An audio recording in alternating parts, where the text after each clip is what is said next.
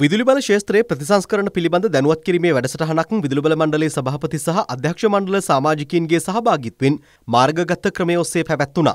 ආයතනයක් සඳහා කාලීන වෙනස්වීම් අත්‍යවශ්‍ය බැවින් නිසි ප්‍රතිසංස්කරණයක් සිදු කිරීම අනිවාර්ය වෙනවා. එබැවින් ජනාධිපතිවරයා ලැබූ සමාජ පරිවර්තනීය ජනවරමට අනුරූප වන පරිදි බලශක්ති ශේත්‍රයේ නිසි ප්‍රතිසංස්කරණයන් සිදු කිරීම සැලසුමයි.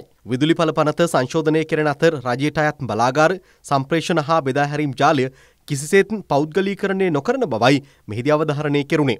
ඉදිරි වසර පහ තුළ මෙම කලාපයේ අඩුම විදුලි පිරිවැය සහිත රට බවට ශ්‍රී ලංකාව පත්කිරීම සඳහා එක්වන ලෙසද අධ්‍යක්ෂ මණ්ඩලය ලංකා විදුලි බල මණ්ඩල සේවකීන්ට ආරාධනා කළා.